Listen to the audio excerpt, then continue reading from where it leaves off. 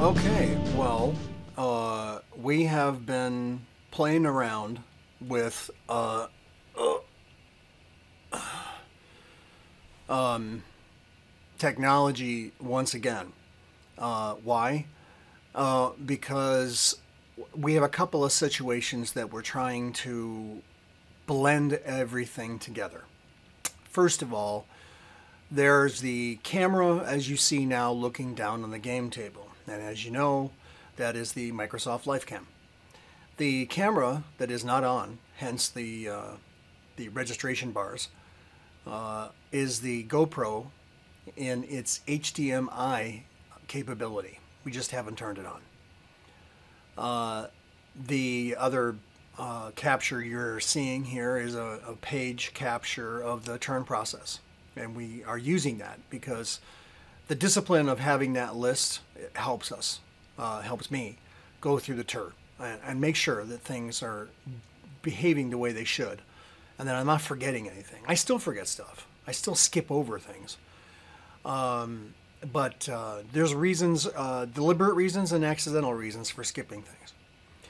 Um, the other issue that we are trying to coordinate is the ability for casting the image that you are seeing now um, to the Android tablet. And for that, we're using AirDroid Cast on the PC and on the Android tablet. And why are we doing that? Because the Android tablet is performing as a second monitor, a dual monitor, a replicated monitor um, behind me. And what that allows me to do is turn around to the game table and still see the monitor and make sure that it's capturing the image that I want to capture. So that is very cool. The other uh, audio, video, or the other video uh, connectivity issue was something of our own making, um, in that uh, there is a another camera in a remote area uh, hooked up to a remote PC, a laptop, uh, which is the same laptop that we carry to conventions. That uh, also, by the way, a LifeCam camera pointing down at the uh, painting station is where we have, uh, well, where we conduct the modeling itself, the model painting and the voiceover of tutorials and stuff like that about how to make models and paint models. That's happening in a different room of my studio.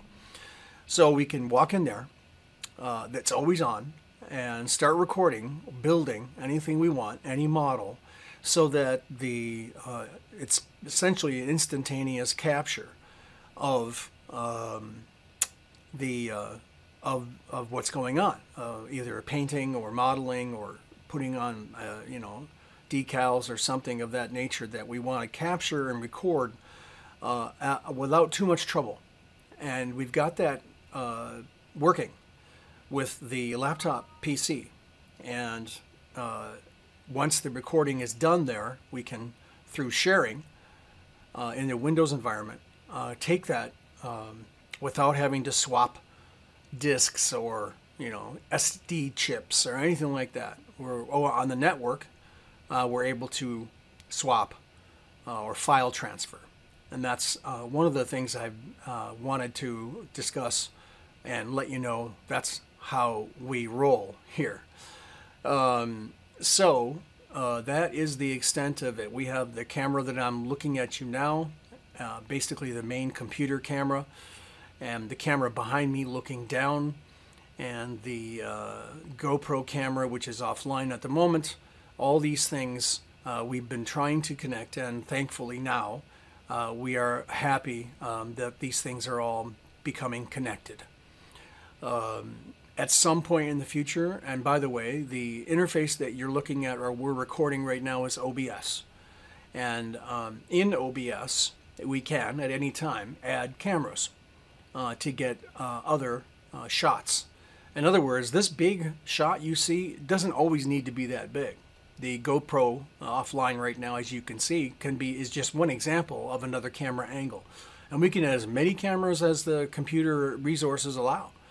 Um, and so at some point in the future, we will have other cameras and be able to do that. Be they other GoPros or just webcams. Uh, obviously, the issue with the webcams is that they're not wireless and they need to have a USB uh, cable uh, plugged into the main computer or whatever computer, by the way, is being used. What do I mean by that?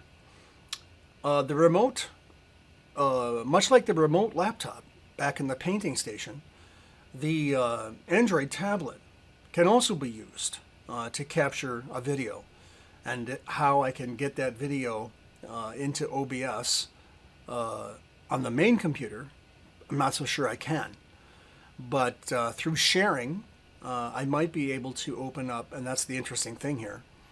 Uh, on the tablet, P, on the on the P on the tablet, I can use OBS and uh, add a camera to the tablet uh, using an on the go uh, USB connector, which allows for the USB signal to be uh, uh, compatible with the Android, and for the most part, it works. And then use that signal, uh, use that video, sharing it um, in reverse to the main PC. See, right now, the main PC is sharing its OBS interface, what you're looking at now, to the tablet. And the tablet's becoming a second monitor. Well, if so fatso, I can reverse that and have the tablet running OBS as well, uh, shared to the PC. And then open that PC, open that window, that shared window, inside OBS, hopefully. I haven't tried that yet. That's a neat idea, and we'll see. Because that what was that? What what does that do? it, it, it enables a remote webcam uh, to be used uh, and not provide instead of having a another webcam with its cable running all the way to the uh, to the main PC uh, and OBS. It can uh, the webcam can be connected to the tablet and through uh, window well AirDroid casting open up inside OBS on the main computer. So interesting stuff.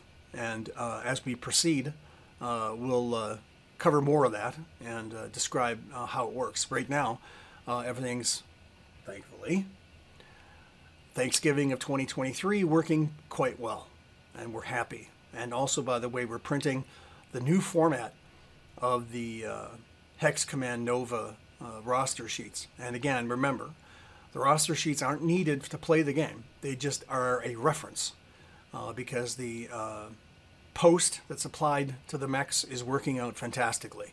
It's a lot easier to play when you can mark something on the table. Granted, it's not realistic, but it's a lot easier. The games can be played in less than an hour. And uh, especially on a 4x3 table like this, as you can see, there's not a lot of mechs on the table. And that Jenner, uh, which I haven't, by the way, moved the label uh, at the intersection of the two roads, uh, has completely uh, annihilated by its movement because it's fast um, it has annihilated that Valkyrie. And uh, because the initiative was with the the team, was it? I called it Blue Tan, I think. Um, the Blue Tan team had the initiative, and even though the Valkyrie Warhammer were on hold uh, and got that you know hold fire uh, opportunity fire, um, the the Jenner could not be damaged by that. The emphasis from the Valkyrie was on that Marauder. And as you can see, there's a little dice, a die next to that Marauder, meaning that in turn three coming up, it can't do anything. It's on shutdown.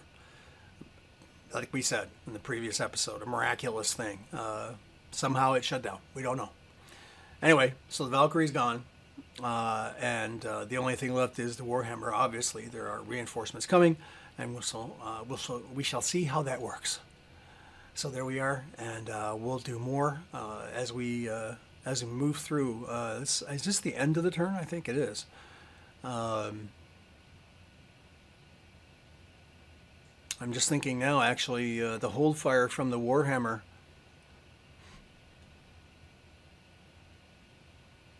We'll have to debate. We'll have to figure that out. He did conduct a hold fire. Does he get to fire again in his activation? We don't know, right? We we do know but we don't we don't always agree with ourselves that that's the way it should be done. Once you fire, depending on how long the turn is, say the turns are only five seconds or something, six seconds, I don't know, uh, short. Does it get to fire again? Right. This is kind of the old, the old question. And uh, our default answer is yes, because that's the way the rest of the hex command system works. You can, in your activation, you can do what you like. So, uh, the option, however, is to say if you fire uh, in the opportunity phase, unless you have the rate of fire weapon that allows you to fire again, you don't get to fire. So, what does that mean? A light weapon can fire twice each time it fires. So it can fire uh, in the non-activation hold fire opportunity fire phase at the beginning of whatever turn and then it can fire again uh, but every time it fires right it fires twice so it fires ba boom ba boom uh, i'm sorry i said that wrong every light for instance light laser fires twice every time it fires boom, boom and then in that same turn when the uh, activation actually happens, it can fire again. Boom, boom. That's it. So it's up to the players. Again, it's another one of those options that says, well, how do you want to do it? Do you want to do it that way? And then let them decide if they want to do it that way. So there we are. Okay. Um, in many ways, this is interesting. Uh, I mean, in regard to the technology segment, that we uh, posted earlier. We've uh, updated our OBS uh, screen. And let me actually just take this and kind of make it a little bit smaller. As you can see, using OBS, you can at will change the size of various shots. So this new uh, shot that we're looking at, the right hand, the bottom right hand corner, this is um, Droid Cam. And uh, where I whereas I was considering, hey, you know what, webcams are cheap. You know, why don't we just get another webcam and and uh, and put it in here? I started to think, well, I already have a webcam. It's my Android phone. And using DroidCam, I am uh, broadcasting it um, my my PC, the main PC here. And I've taken the size of it and made it overlap our main screen because our main screen isn't really that informative, uh, especially as the action has moved away from, you know, the uh, portion of the screen that the uh, cam is now covering, the bottom right hand corner of the main screen, we'll call it. Um, so we can overlap it. And then if something changes, then we'll just make it smaller again. Um, but it's good to see here, as a matter of fact, when I just did this now, uh, you can see that there's a die, and that's the symbol for the fact that the, the uh, blue tan group, it's actually should be called silver tan, uh, because that Marauder is a silver color. Uh, the little dice represents that. But if you look in the very bottom corner of the droid cam, uh, bottom right, you'll see that the die is also there. So you don't really actually need um, to show um, that portion of the uh, overhead camera. As a matter of fact, as I do this, you can see that the droid cam is actually adequate to replace that overhead camera view. It should almost be the reverse like the overhead camera view should be, you know, in the small in the corner, and the droid cam, well, see, the, here's the thing, the droid cam, because of its angle, uh, oh, I forgot, I have the other uh, camera on too, hello. So, the overhead camera, we can do it like this, because not, you know, nothing's really happening in certain portions of the screen, and the overhead camera is actually the one that should be a little less uh, dominant, right? I mean, the the overhead camera now now that it's in the bottom right hand corner, it gives you an idea of uh, the overhead view. And here, uh, move this to the fore. Uh, this is our HDMI uh, GoPro view that we still haven't activated yet. So that could, you know, this could be moved out of the way, and then this camera could, you know, take its its rightful place in a nice big spot. But right now, let's just do it like this because we can we want to read this. Uh, reminder. And then you might say, hey, how do you do that? Uh, you hold the shift key down to stretch. So that's an interesting uh, twist, isn't it? Right? We don't need to show everything that's on the right hand side of the big screen now, of the of the of the main view. The main view is actually the droid cam. And the overhead view shows the whole thing.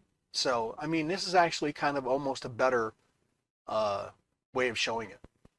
So just a little another uh, uh, technology update from Imagine Image Multimedia.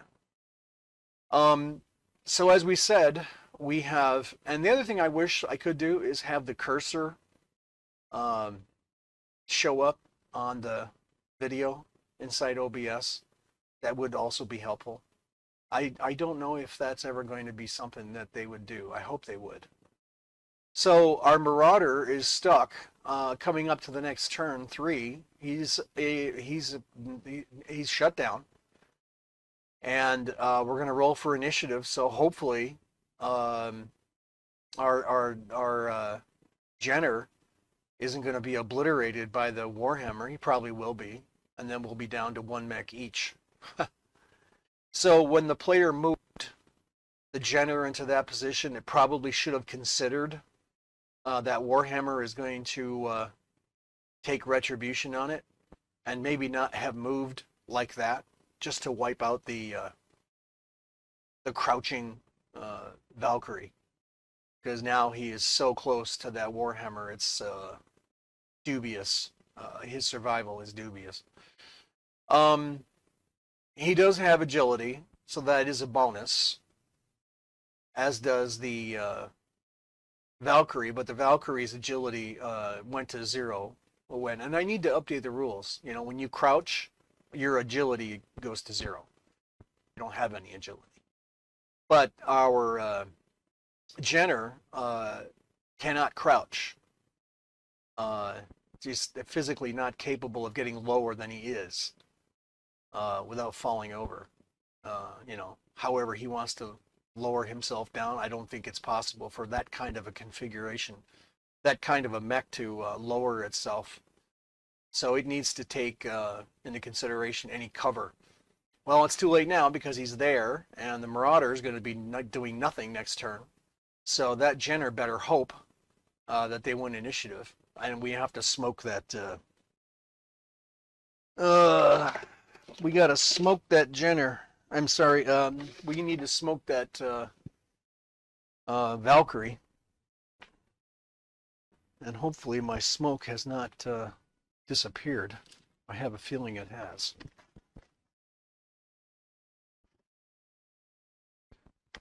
Well, there's some. Let's see if there's any other smoke. I don't. I don't think there is. This is risky. I don't see the smoke in here. Okay, so. And yeah, just to, to be clear, there's a lot of other, a lot of other um, um, scenery and such that could have been put down, like bunkers and everything for infantry. And we could have had some other vehicles involved here, and they may actually show up, but not right now. All right, so that's our uh, that's the end of the turn. Coming up on turn three. on a Mexican oh, oh, radio, radio, radio. Um, okay, we're back. Uh, being a little silly. We are ensuring. Let's make sure that all our cameras are yay. Okay, everything's going. Uh, big camera, the big view is the um, droid cam and actually, whoops, uh, it has moved a little bit, and we've lost our uh, Warhammer up in the distance there. Radio. There he is. Okay, so we're going to go for initiative, and we've smoked our uh, um, Valkyrie.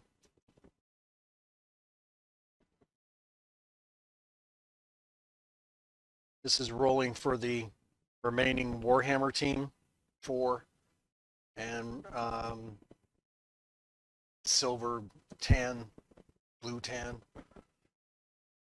Two. So there's the bad thing. Um, the Warhammer now has initiative, uh, and this cannot be good. So, um, without further ado, um, mark orders, right? Okay, so we're gonna mark our war. oop. Yeah, that camera's not being used anyway. We're gonna mark the Warhammer as uh, uh, not moving, and as we said, this is shut down. so the Warhammer, well, he could actually move, right? We're we're said he he's in this hex right here. Well, he's actually okay. Whatever. Uh, so one, two, three, and blast away uh, at the uh, Jenner. And uh, oh, by the way, uh, last turn, I should have uh, signified that the Jenner is stopped. So he he moved up here and stopped. So um, that should be noted. He's not moving at the time of this next turn. Um,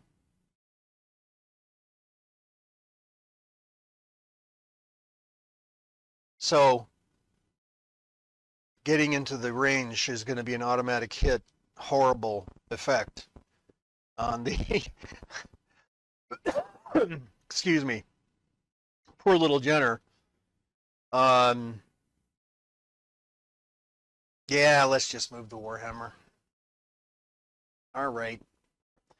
Okay, so marking orders. Uh, this guy is going to be marked to move, and the uh, Marauder can't do. Over here, can't do anything. Uh, the Valkyrie is burning, destroyed. Pile of of massive debris and uh, that is all. So no, um, in in its activation, let's be clear. When the Jenner activates, it will then fire before it moves, but right at this moment, it is not moving, as we said. So Warhammer moves. Um, one, two, three, four. Uh, is it four or is it three? I'm on a Mexican radio. It's a it's a move of four. Um. So. Uh. Ay ay ay ay. So this begs the question. Um. Yeah. No. This is this is what happens. Does the Jenner move? I mean, everything moves and then shoots. I think I just made a mistake. Uh, in this, in the, uh, and, and hence the reason for that list, right? And here again, we are talking about a potential understanding how the game is played everybody has this same discussion, right? You mark orders, right? Uh, everybody moves, and then shooting happens. Or uh, the active player moves, and then combat happens for any hold fires of the opponent, of which there are none, because he's marked to move. right? So is it everybody moving? and then shooting with the advantage going to the initiative holder? The initiative holder fires first? Or do you, as the initiative uh, owner, uh, winner, do you move and take any damage from any hold fires, but then you get to shoot? I believe that the interpretation has always been that if there are no hold fires in the opponent, nothing is on hold, uh, then you just you fire. Now I'm going to do it and then probably find out that's wrong. okay, oops, turn number three. So we'll we'll find out. I be I believe that that's that's the case. So, well, obviously, um, the uh, the Warhammer is going to completely destroy that uh, Jenner. I mean, is there a is there a, a point in even um uh, rolling the die because it's an automatic hit? Yes, there is a point. Why? Because he's moved. And um, but he at this point is stationary. So as we said before, it's only when both are moving uh, is that penalty. Uh, I'm sorry, only when both are stationary does the uh, bonus happen. Otherwise, there is no bonus. So there's just the shot, the shooting. Okay, make that clear. Only when non-moving fires on non-moving is there a bonus of the non-moving situation. But in any case, one of them moving, there's no bonus. Just take it as it is.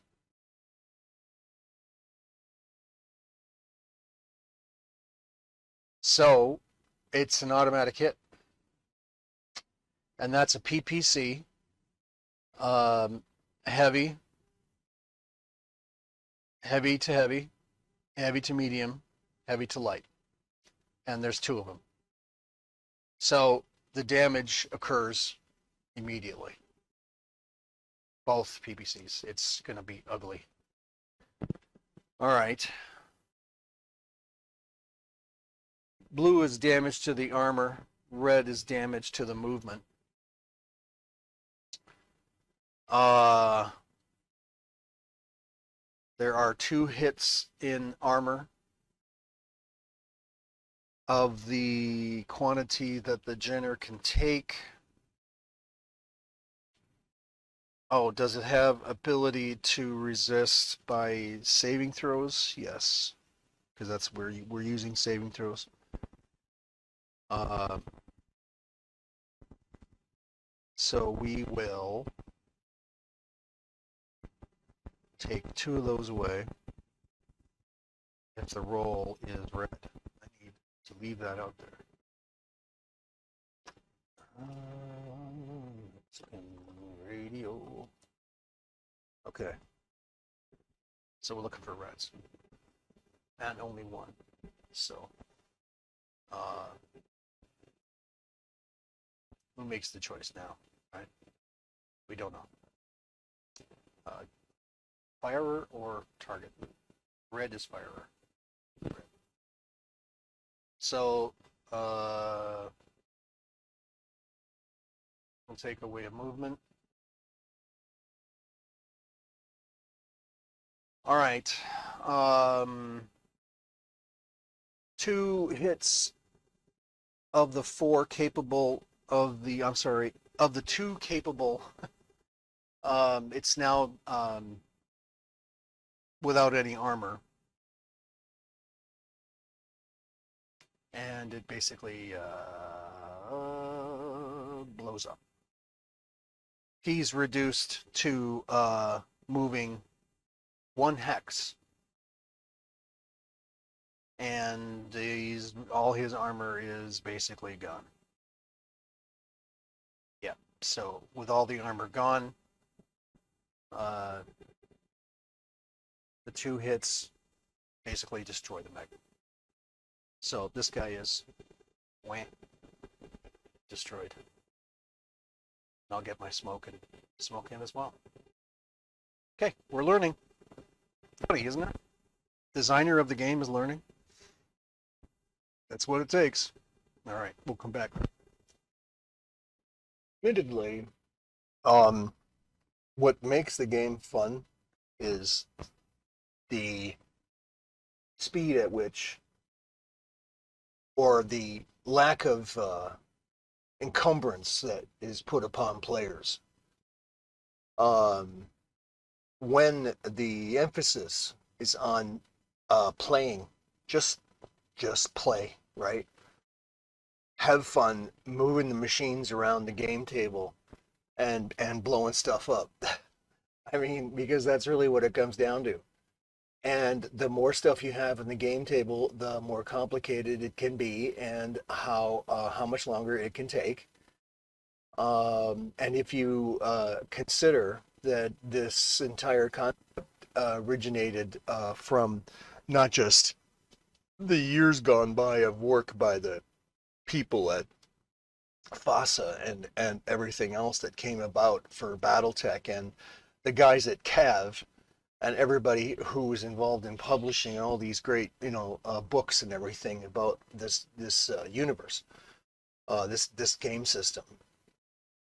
Uh, the uh, the Hex Command mechanized, um, essentially uh, focused on World War II, is a multi um, arm game. It's supposed to be land, sea, and air, if you will. It's supposed to be infantry armor vehicles and and any kind of aerial uh, combat that you wish to put in. Uh, we rarely do aerial combat, uh, but it's completely conceivable uh, to have it in, uh, in uh, engaged in involved in the game. It's completely conceivable. There's nothing wrong with it. Um, the vehicles just move awfully fast, and they're coming in very quickly and doing their thing, and then uh, you know getting out before uh, something somebody locks on a uh, heat-seeking missile or something on them. And by the way, it should be noted that uh, both mechs and cavs, when it comes to anti-aircraft, are uh, there's some discussion as to what uh, mechs can do that. Um, for instance, uh, you can have a laser and uh, or a pulse beam weapon. Uh, and so the question is, do we know enough about energy? I mean, do we really, in, in today's terms, 2023, fall of 2023, do we have um, any uh, awareness uh, of beam weapons on aircraft? Do we have any evidence, stories, uh, documentation uh, of testing, and so on, and exactly how this kind of thing uh, can happen? Well, uh, the civilian population doesn't, but I'm sure the military obviously has been testing all this stuff for a long time because it's you know it's probably going to be the future beam weapons on the ground for one thing, and then beam weapons in the air for another. And uh, there's been some discussion about how exactly, how long does it take for a beam of energy striking an object in the air uh, to affect it? How does it affect it? What kind of energy is it? You see, so these kinds of things we we uh, have. Uh, we have to guess, postulate how these things work. And we do have uh, aerospace fighters that can come into the game, as well as infantry and armored vehicles on the ground. So you can imagine that our Valkyrie and our Jenner that are smoking, having destroyed each other or whatever, uh, the Warhammer took out the Jenner uh, because it's just completely outclassed. Uh, you know, the these things are they're going to happen. They're going to have to be introduced, I suppose. Otherwise, it's just you know, it's just tank versus tank every game. Do you want to be involved in a game that is just tanks versus tanks all the time? I mean, I mean, you have to, you know, can you do you want infantry and, and other things to happen? Do you want a combined arms game? Can you have the uh, potential? Well, yeah, at least at the minimum, have the potential for a combined arms game. Have have the infantry squads and the ground vehicles and anti-aircraft vehicles. Have them ready, and, and the aerospace fighters. Uh, have them ready to be put in the game if the scenario can needs to be tweaked at the last minute, you want to throw in an aerospace fighter, go ahead. See what happens. Because if there's no anti-aircraft fire, if there's no anti-aircraft missiles or anything that can chase that plane away, then um, you know he's going to be coming around again. You know, come in, do a thing, and then try and get away, uh, and then come back. He may make multiple runs because uh, if your beam weapons can't get him, uh, then he'll just have field day. Air superiority. He'll just keep, you know, coming back. You can have your own aerospace fighters. You can put them in to get him. Okay, so now you have an aerospace fighter combat duel, which would be interesting. We haven't actually got to that point. We've only ever had just one side enter in an aerospace fighter. But now that I think about it, uh, we're going to need to have a demonstration of two aerospace fighters going at it because that's like aerial combat rules, right? Uh, Hex Command Raptors stuff. So that's where we are. So this is turn, actually, is this turn three now? Yeah, because the uh, Marauder can't do anything. So let's go to turn four. And in the turn four universe, uh, what happens? We roll for initiative. Uh, we'll take this away because that's expired. Rolling for the Warhammer's side to see if, well, we'll talk about reinforcements coming in. Uh, you rolled a six. And the Marauder side also rolled a six. That's very interesting. Let's do them both at once. Um, Warhammer is going to be yellow. Marauder is going to be green. And the Marauder, that's it. That is very good for him. So, why? Uh, well, it's obviously a duel. Pick a side. Okay. Um, interesting. So, the orders would be forget about any arriving units. Um, the orders for that marauder would be to probably right he stands still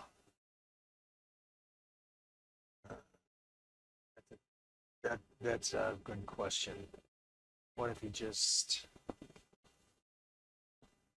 tries to get down that road and take that objective it's going to be really iffy because uh, it's almost like a one-to-one they both got powerful weaponry the difference is that the uh, Warhammer has missiles and the Marauder does not. The Marauder has a gun on top of his head. So.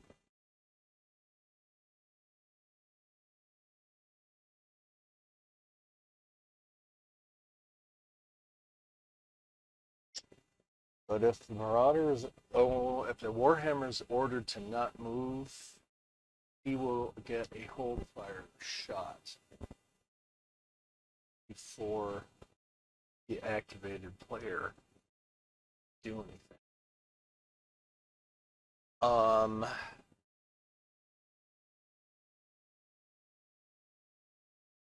The activated player's status right now is looking at three if we follow the intended rules without any options. He's looking at three defense hits before he drops. I'm sorry, he has one more armor hit before he drops to the next weight class, which would be medium. Uh, and he will suffer one, at that point, he will then suffer one weapon hit and a move hit. Now, they already have the objective. They've got the objective one already. The question is being able to get that Warhammer out of the situation so he can get this objective is another good question. It's unlikely that he's going to, on a one to one situation, it's unlikely. So, in other words, you could call this game and say it's a draw. And because of the damage caused to the uh, Marauder, you know, Warhammer gets points or something like that. When you call a game, when, you, when the game is over, uh, you have to adjudicate uh, points. So if they both get a point, just, you know, it doesn't have to be increments of numbers, just a single, okay? A point there and a point there. So this side has a point, that side has a point. Uh, and the only difference is they both lost light mechs. Uh, there's no other, I mean, there's other parameters you could talk about when you want to make a decision like that.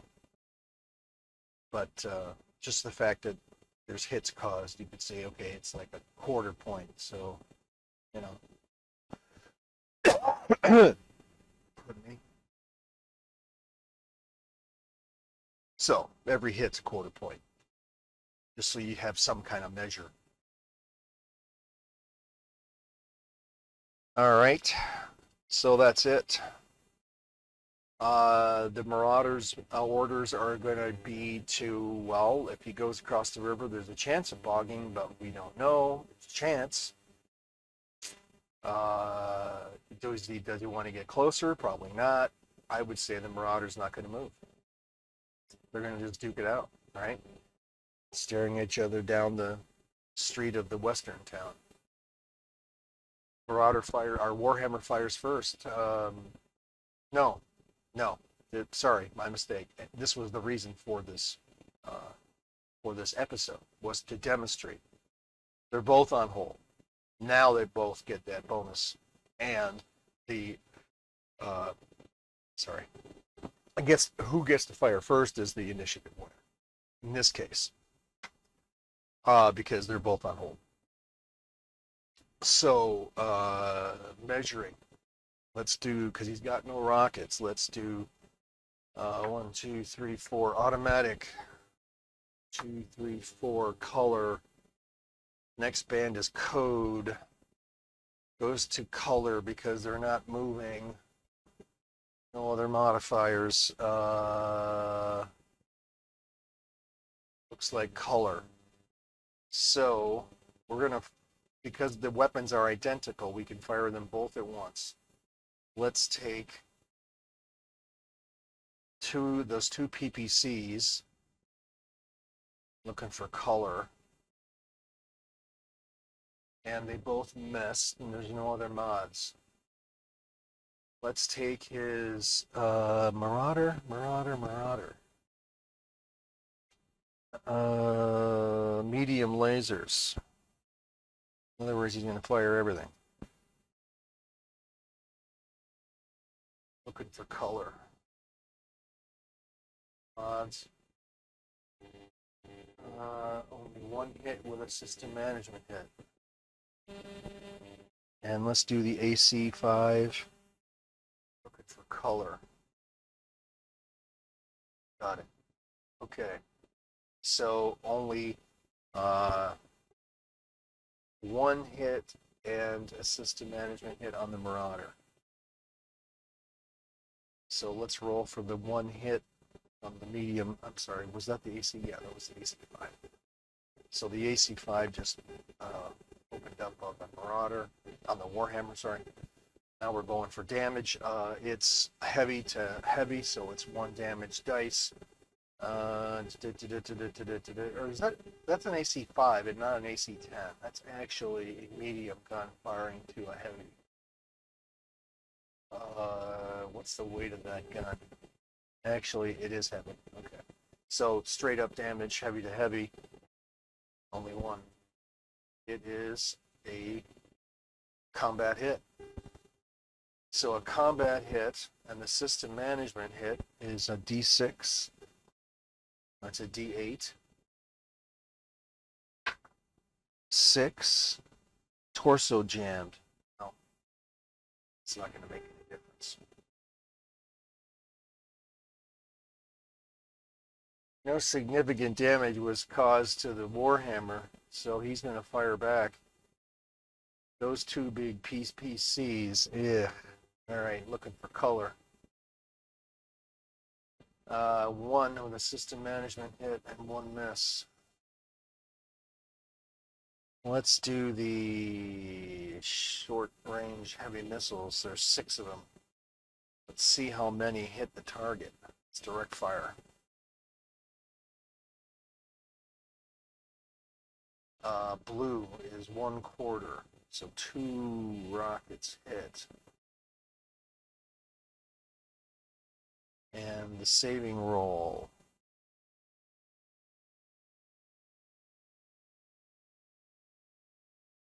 It's going to be red.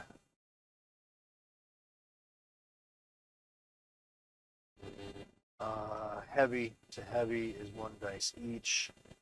Saving rolls. Yes, no saving rolls.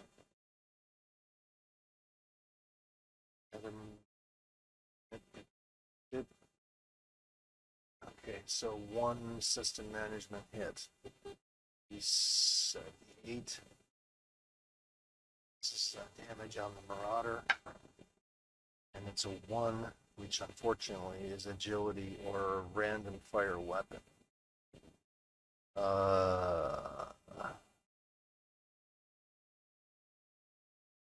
agility would help it going across that river. So we don't, uh, it's our choice. Or is it? No, it's not our choice. We roll to see what it actually is. There's two options in that agility or in that uh, uh, system management hit number one. There's two options. Either you're minus agility or you suffer a random firing weapon. Uh, in other words, when you go to fire a weapon, you roll to see uh, uh, which ones can fire. I should say, you roll to see which one doesn't fire. Uh, so let's roll for the either the agility or it's just simply 50-50. So red is going to be for the roll to fire a random weapon. So blue happens and hits minus one to the agility. Okay, so minus one to the agility. Um, and that reminds me now, we do not have a representative marker for a hit to the agility. So what we'll do in this case, uh, we could have a marker on the table, but what we'll do is we'll just take that minus one to the agility on the um, card itself. We will actually physically mark the card, which means that the cards do serve a purpose.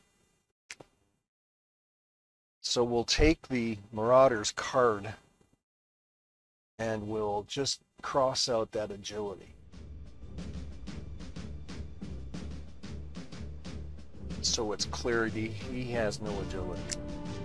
Okay, so that's it for the turn. Uh, no other modifiers. It's just, you know, they're going to pummel each other until something is decided. Let's come back for turn five.